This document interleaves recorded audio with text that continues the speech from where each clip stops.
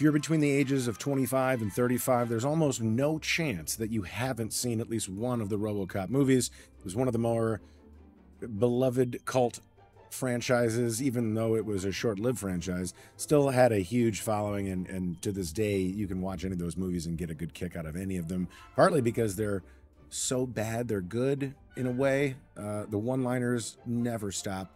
Um, there have been some also some pretty cool games back in the day. Uh, one of my favorites was RoboCop vs Terminator. I don't know if you remember that one, but I sure do. One of my favorite things to play when I was younger. But right now we have a game called RoboCop Rogue City, which was originally supposed to release uh, back in September, but that was pushed to November 4th, and I think that's partly why we're getting a full demo now just recently.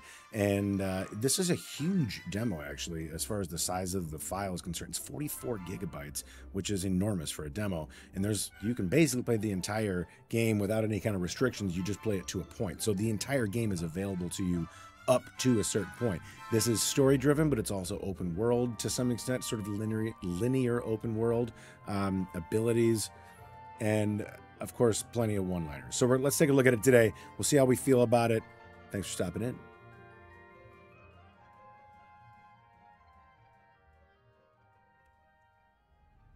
RoboCop Rogue City. Let's see what we got here. Yes, new campaign. Just start with normal, see where we're at. So we're not going to watch this whole thing. This is a little intro video. Um, one thing I will say though is you are reminded that this is a smaller studio with maybe not quite the same amount of technology that AAA studios will have at their disposal. Um, the character models aren't the best, and obviously you can tell the the voices don't quite match up to the mouths. But let's not get too worked up and too focused on that.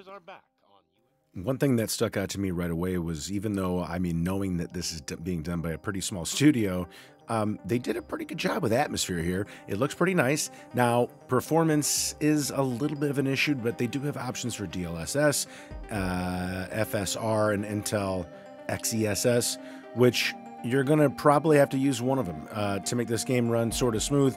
Granted, this is a demo, so I would expect optimization to be a little bit better with the full version. Don't know that for sure, but you would like to hope that. Um, but once I used, uh, I, I, went with NVIDIA DLSS because that's I'm using an NVIDIA graphics card. Once I went that, I got it to run pretty smooth. I mean, there were still little hiccups here and there, but it was absolutely more than playable and felt pretty darn good.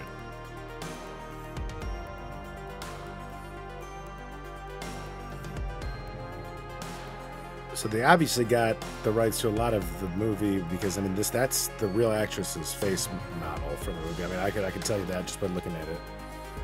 Oh no! So this this is the begin. This is basically the beginning of the first movie, I think, isn't it? Maybe the beginning of the second movie.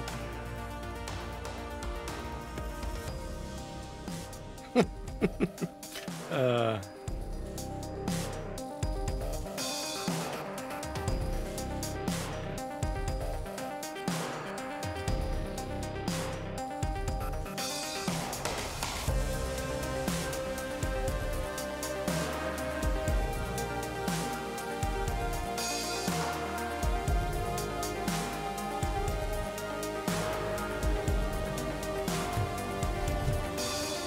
Oh, wanted, Anthony Harris.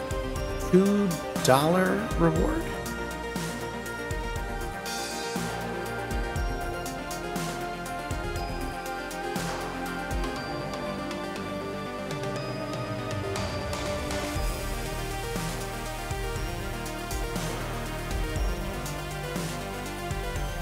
Uh, Jimmy Smits?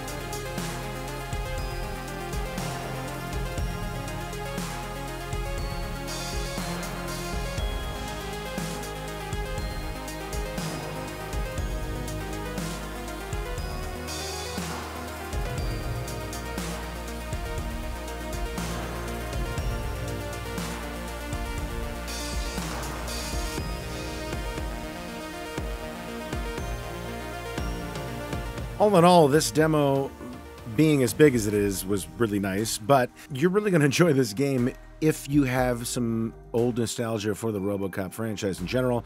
The $49.99 price tag for this when it does come out might be a bit high for some people. However, this game has shown me that there will be a lot more involved in it than I really ever expected there might be. So it's really going to depend on how much do you love RoboCop or how much do you love feeling like you're younger than you are right now. I think if you're into nostalgia and you're into a good shoot 'em up with some nice leveling up and a fairly good looking game in general, this might be for you. Check out the free demo on Steam right now. The full game will be coming out November 4th on PC and next gen. I'm your older than average gamer. Thanks for stopping by today. We'll see you next time.